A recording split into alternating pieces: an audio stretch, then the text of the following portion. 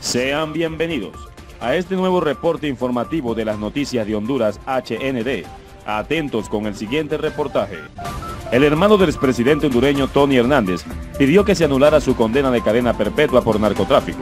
El antiguo diputado del Congreso Nacional de Honduras y hermano del también presidiario expresidente Juan Orlando Hernández ha solicitado a un tribunal de apelaciones de Estados Unidos que anulara la condena de cadena perpetua a la que fue sentenciado por un delito de tráfico de drogas. A Juan Orlando Hernández se le ha vinculado con el también capo de la droga, Joaquín El Chapo Guzmán Loeira, que se encuentra en una celda de máxima seguridad en Estados Unidos, donde no ve la luz del día. El Chapo y el narcotraficante Giovanni Fuentes Ramírez habrían financiado su campaña presidencial en el año 2013, a cambio de la protección y evitar una posible extradición. Sus redes criminales tienen una procedencia desde los bastiones del cártel de Sinaloa y su líder del momento, Joaquín El Chapo Guzmán.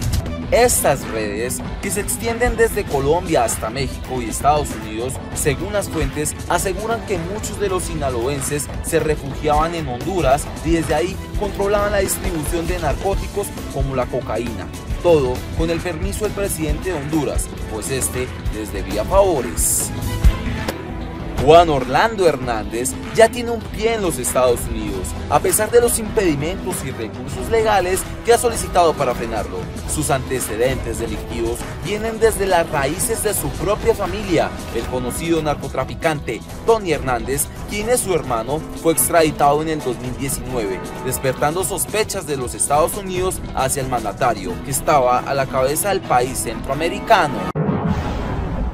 La primera dama de Honduras, Ana García de Hernández, utilizó una vez más sus redes sociales para pronunciarse, para dar a conocer un mensaje sobre la situación de la cárcel en donde vive el expresidente Juan Orlando Hernández. García afirmó una vez más que su amado sufre persecución de narcotraficantes que de alguna manera se están cobrando el haber sido entregados a la justicia o perseguidos a su vez en el gobierno del exmanatario hondureño. El 8 de mayo del 2014 Honduras realizó el primer proceso de extradición de un hondureño hacia los Estados Unidos. Desde ese día hasta hoy ya suman 13 los catrachos enviados a la tierra del tío San. Carlos Arnaldo Lobo, alias el Negro Lobo, se convirtió en el primer hondureño legalmente extraditado hacia los Estados Unidos, acusado por el delito de tráfico de drogas. Actualmente purga una pena de 20 años. El 28 de octubre del 2014, Jubin Alexander Suazo fue extraditado a los Estados Unidos después de que él negociara su entrega. Suazo fue acusado de narcotráfico y se encuentra recluido en una prisión de la Florida. Miguel Arnulfo Valle Valle y su hermano Luis Alonso, acusados de narcotráfico y de trabajar con el cartel de Sinaloa, fueron extraditados el 18 de diciembre del 2014 a una cárcel en Virginia, Estados Unidos, donde guardan prisión y podrían enfrentar cadena perpetua se envió a Héctor Fernández Rosa, alias Don H. El hondureño afronta cargos por narcotráfico en una corte de Nueva York. El 15 de octubre del 2015, Honduras entregó a los Estados Unidos a Wilmer Alonso Carranza Bonilla, el ex policía antinarcótico señalado de colaborar con los hermanos Valle Valle. En la actualidad guarda prisión en Virginia hondureño extraditó a José Raúl Amaya, hermano de la esposa de José Inocente Valle, Griselda Amaya, ambos extraditados en 2014. Ese mismo día también fue extraditado Carlos Emilio Arita, señalado por Estados Unidos como el administrador y sucesor del cartel de los Valle Valle. El 2 de junio de este año, Juan Carlos Arbizú, alias Lanchita y el Misco, fue extraditado para ser sometido a la justicia norteamericana por delitos ligados al tráfico de drogas, convirtiéndose en el extraditable hondureño número 11. El pasado 13 de septiembre, Sixto Obed Argueta fue enviado a rendir cuentas a Estados Unidos por los cargos de tráfico de drogas. Él fue el doceavo hondureño en ser extraditado. Hoy 13 de diciembre, el ex comisario de la policía Ludwig Criselaya se convirtió en el hondureño número 13 en ser extraditado a tierras estadounidenses, también acusado por el delito de narcotráfico.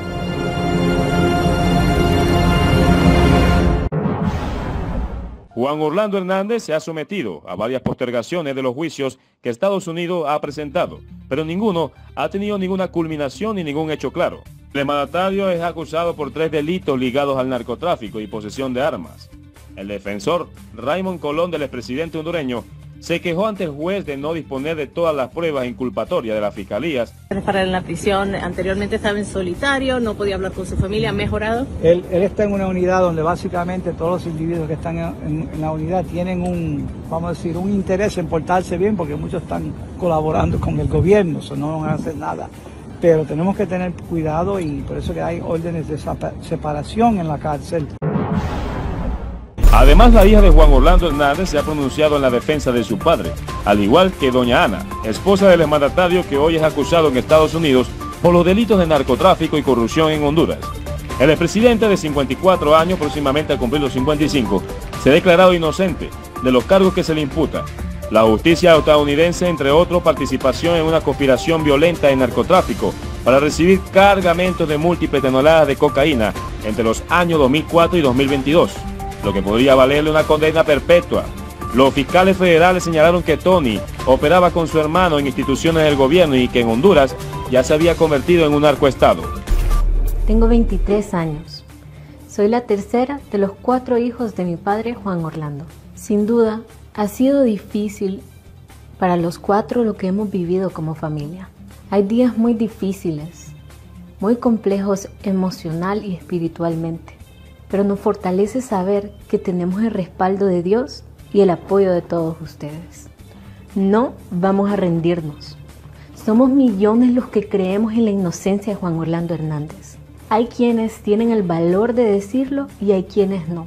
De todas formas, se les agradece de corazón y les pido que no dejemos de orar para que la verdad prevalezca y para que mi padre Juan Orlando vuelva pronto a casa. En otro reporte, siguiendo hablando del tema de los narcos, Estados Unidos había presentado un informe sobre la próxima fecha del juicio. El señor Juan Carlos Bonilla está estrechamente relacionado de hecho en un mismo caso aparentemente con el de Mauricio Hernández.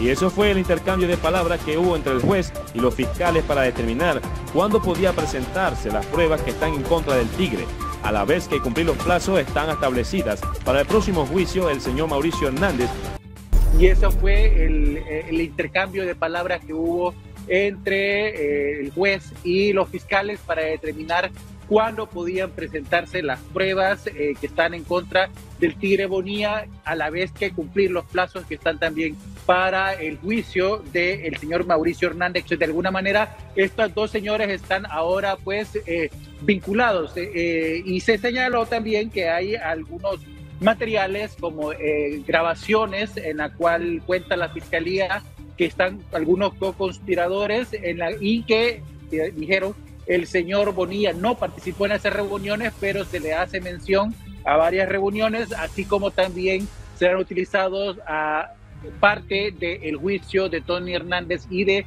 Gianni Rosenthal. Mantente conectado a través de nuestro canal para que estés enterado de los últimos acontecimientos de las noticias más impactantes que ocurren en Honduras. Activa la campana de notificaciones para que estés atento de los reportes más recientes. Gracias.